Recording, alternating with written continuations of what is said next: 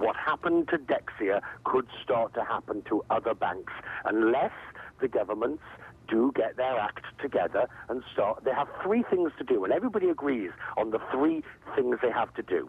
They have to basically deal with Greece and the contagion from the Greece debt uh, potential de- default, recapitalize the banks that would be impinged from that, and then deal with wider economic governance issues so that it all doesn't happen again in Europe. From Sarkozy and Merkel's point of view, they have now given themselves a time frame. And Rosemary, you watch. Sarkozy was very firm about this. He said by the end of the month. Now, he may come to regret that particular deadline as we get closer to the G20, but the fact is, everybody now is going to be watching Germany and France looking for these proposals, seeing if they're acceptable to other European countries, and then whether or not they can go forward to the G20.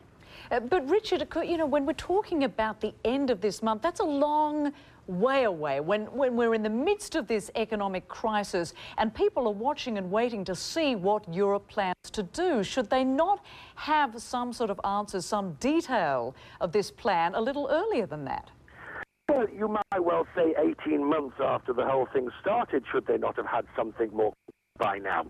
There, there does seem to be a denouement in the air. We're coming towards some sort of crisis, some sort of conclusion. If anybody involved do believe that this is coming to a conclusion.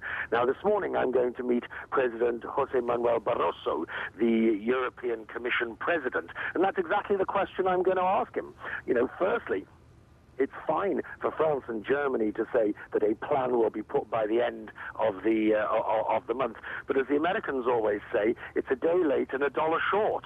Uh, and you know what happens between now and the end of the month?